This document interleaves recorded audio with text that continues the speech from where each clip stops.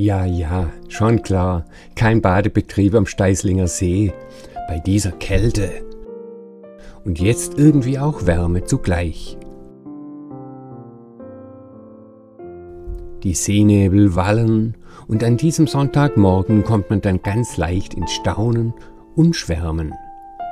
Zwei Tage zuvor hatte es geschneit und in der Nacht darauf wurde es dann bitterkalt.